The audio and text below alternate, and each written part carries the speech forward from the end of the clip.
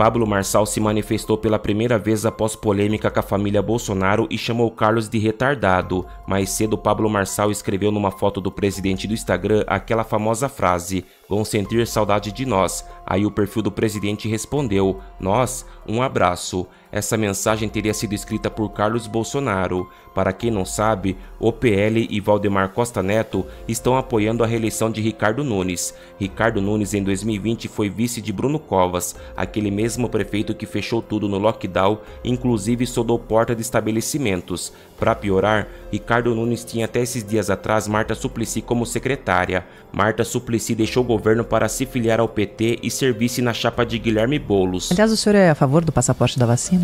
Eu sou o grande defensor, eu fui o, o primeiro prefeito que fez a obrigatoriedade do passaporte para os eventos.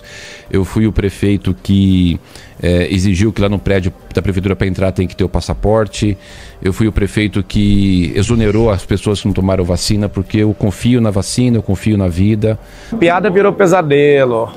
Imagina, eu celular um sonho sem gastar os milhões que esses caras gastam. Imagina agora começando a campanha.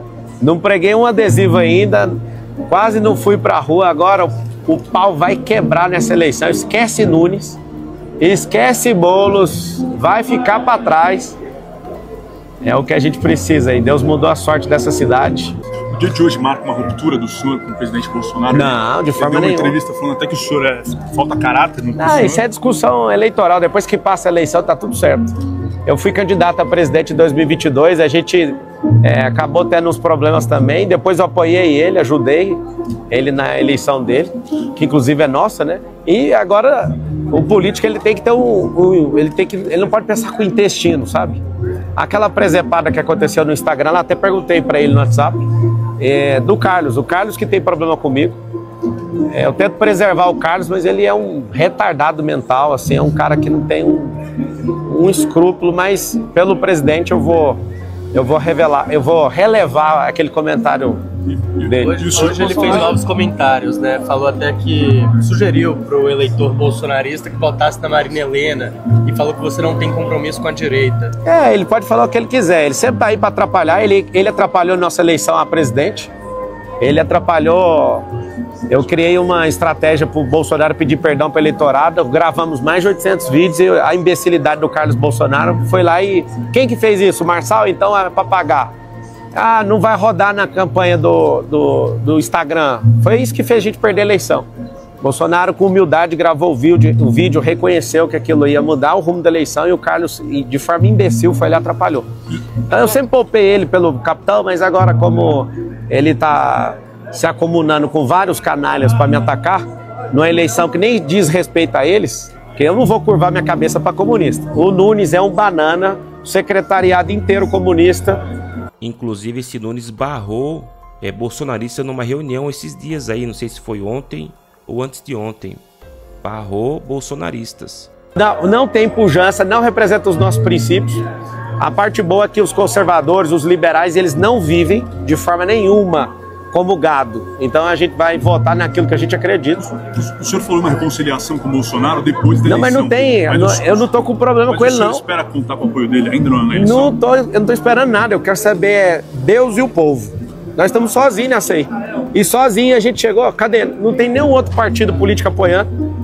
Poderia ter vindo com cinco se eu vendesse minha alma. Tá mostrando aqui que minha alma não está à venda. Eu consegui agora fazer esse empate com eles. Isso é porque a pesquisa ainda está longe da realidade.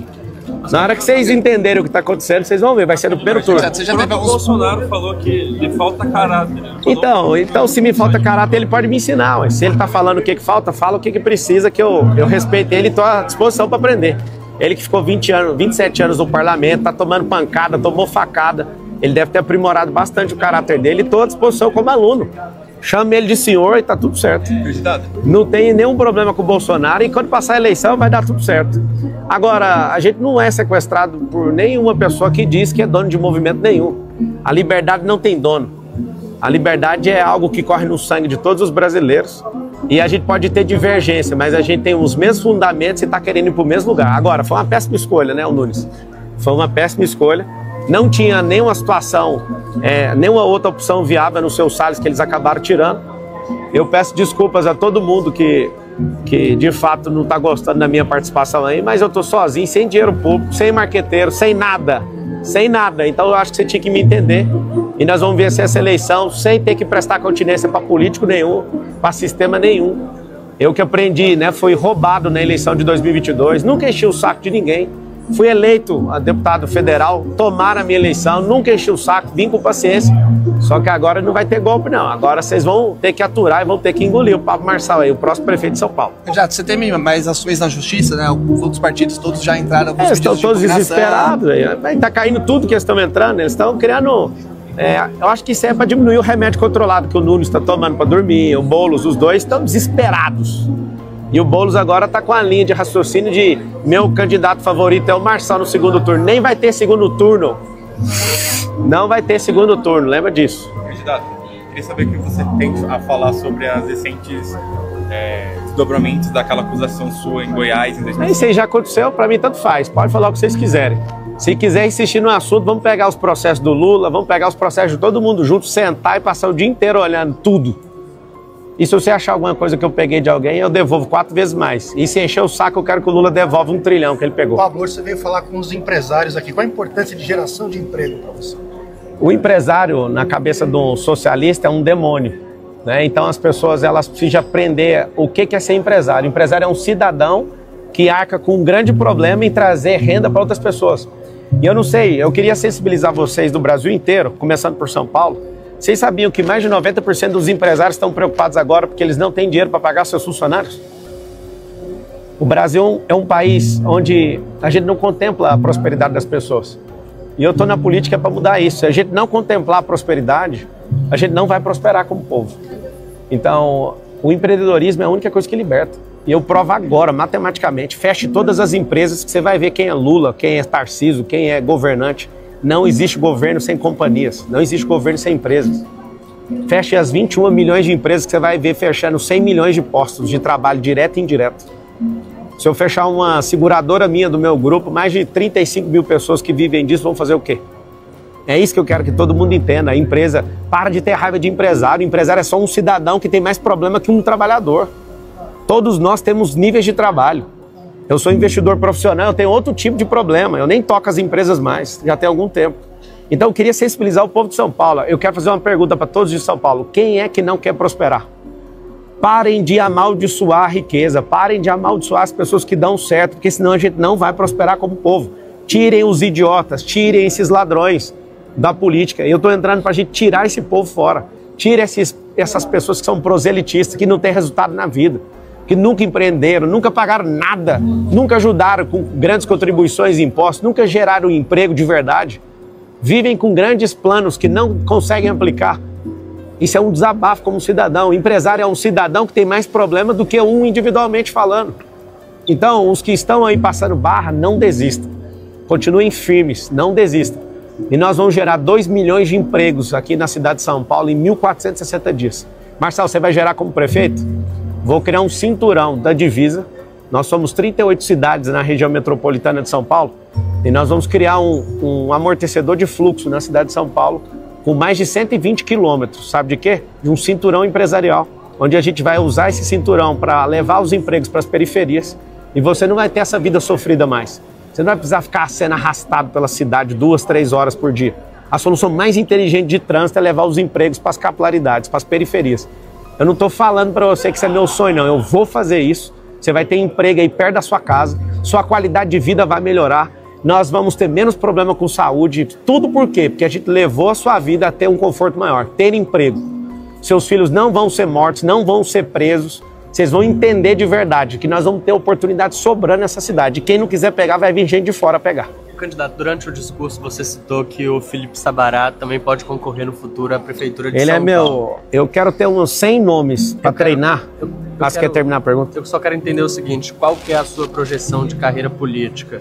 Fazer dois mandatos, um mandato apenas, Não depois sei. você pretende... Não, não sei. eu vou ouvir o povo. E o que eu tô assumindo. Isso é no futuro, eu sou jovem ainda.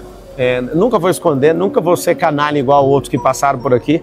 Isso vai acontecer um dia, pela paixão que eu tenho por essa nação, mas eu vou provar que São Paulo tem como funcionar o que eu tô falando.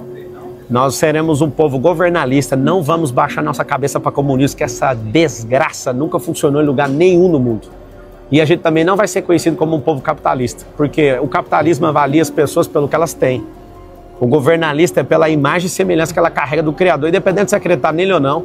Essa é a verdade. Nós não somos uma obra de uma explosão aleatória, nós somos fruto de um design inteligente. E eu vou contar isso para todas as pessoas nessa cidade, depois vou esparramar pelo país e nós, os brasileiros, até 2050 seremos lembrados como a nação mais próspera da Terra. Não adianta tentar me frear que ninguém vai conseguir. Ô Pablo, é, sou do Instituto Ressoar, representando o terceiro setor. Queria saber qual é a sua mensagem que você quer deixar para esse pessoal com viés social, quais são os seus projetos, seus planos? Toda empresa, verdadeiramente, com o apoio do Estado, né, da Prefeitura inicialmente, vai ajudar a sociedade. Vai ter um braço de ensino que vai treinar não só os colaboradores com tecnologias, profissões do futuro, Vamos ensinar inteligência emocional. Ah, mas para que inteligência emocional? Para diminuir a criminalidade, para diminuir o homicídio. Se um povo for treinar desde pequeno nisso, você imagina qual é a taxa de homicídios. Então, as empresas é, na cidade vão obrigatoriamente fazer parte disso. Não vão treinar só os seus colaboradores, mas seus parentes, mas os vizinhos em volta, geograficamente, próximo da, das empresas. Então, podem contar com isso. Vai ser uma revolução na educação, não só na, no ensino infantil, mas em toda, em toda a cadeia de ensino, usando empresas, instituições e tudo que a gente puder. Vai, ter, vai ser o, o governo marcado por educação, a revolução na educação. É. Acabou aí, gente? Acabaram as tretas? Arrumei pouca treta hoje. Valeu. Valeu, gente. Vai. É isso aí, galera. Faz o M ou faz o R? Deixa aqui nos comentários.